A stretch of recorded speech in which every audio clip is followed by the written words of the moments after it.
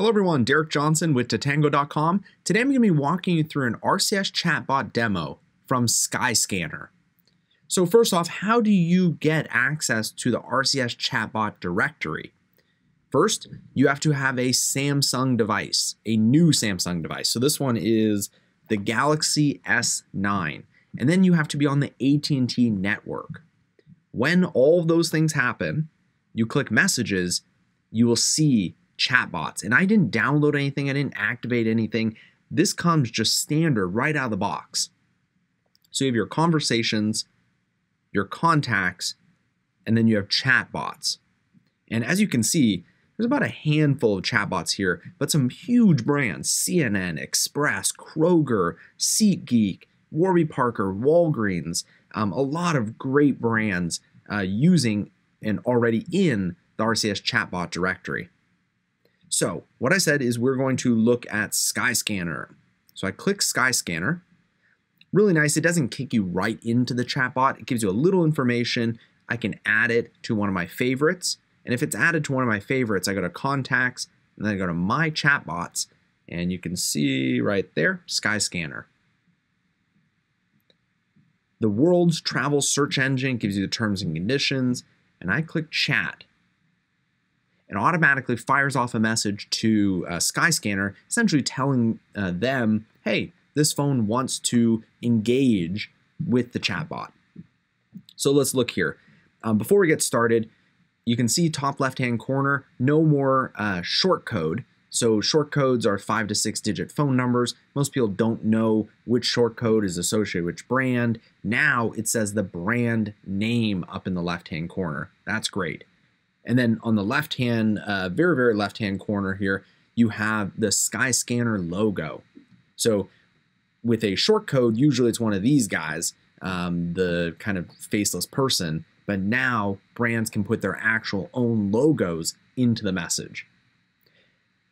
What's cool too is look at the kind of format of this message. There's no links anymore in terms of like long links. They condense down to buttons. So you have buttons find a flight and tell me more.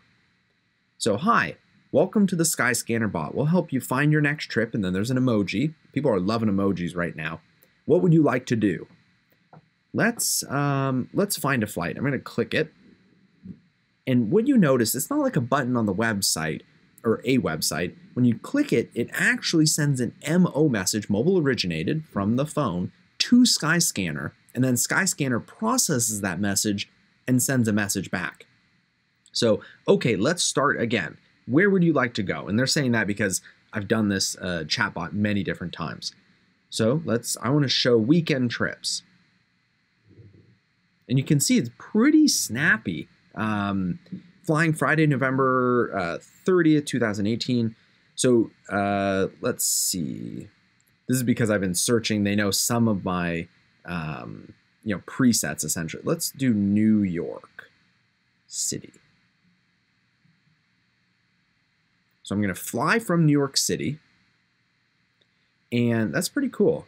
So from New York City, here are the suggestions that they have. And what's really nice is this uh, carousel.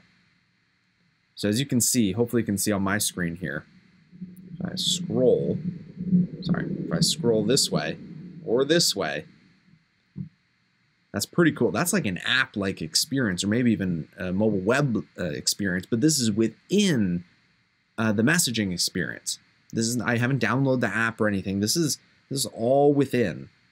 And what's really cool too is instead of just kind of ending at this one, they put in this uh, last card with more options. And when you click one of these, just FYI, it's not a button it just expands the image. The button is down here. So you can see each, actually this one, you know, try Edinburgh and then route tips.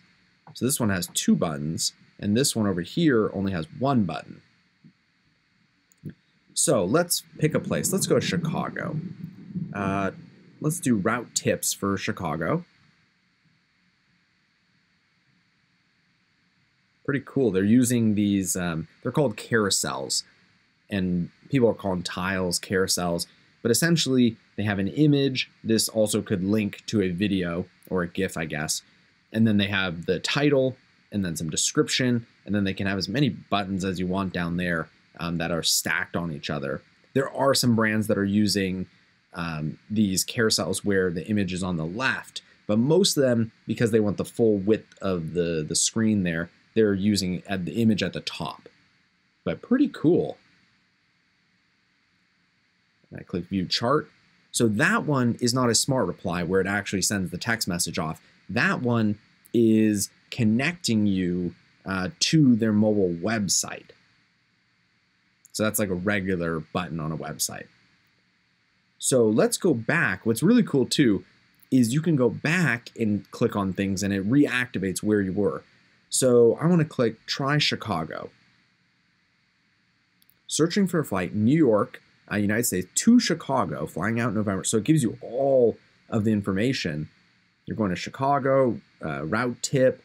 So then you can click, you know, hey, I want to change my destination. So this is really what chatbots were originally designed for is for you to kind of do your own work instead of calling up, you know, an agent on the phone and then having them, you know, uh, manually work with you. So it hopefully saves, you know, a lot of time. I might have bad connection here, but um, let's see if it is connecting. Yeah, so sometimes it takes a little bit of time, but I can go and I can click new search. You can see how this is pretty kind of engaging. Like I could just continue to look at things, you know, where do like I want to see the weekend trips. Uh, yep, uh, let's let's go from Seattle this time.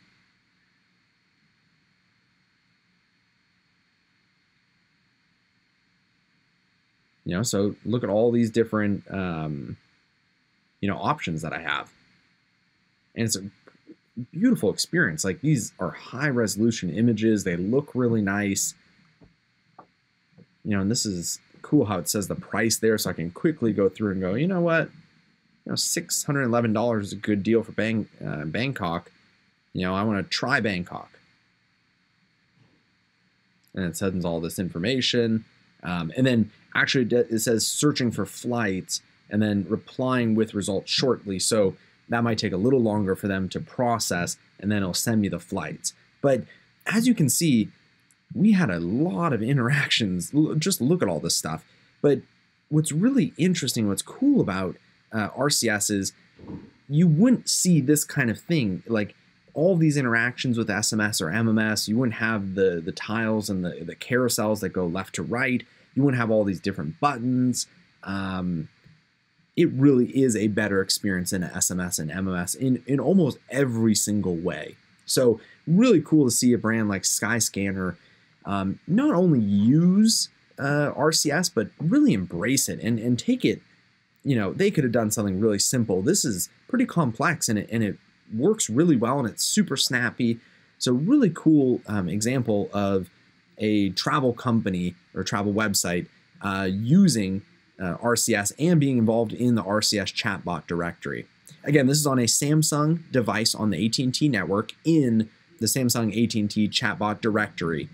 My name is Derek Johnson with Tatango.com. If you have any questions, comments, feedback, if you want more information about RCS or how Skyscanner is using RCS, let us know in the comments below. Thank you for watching this video.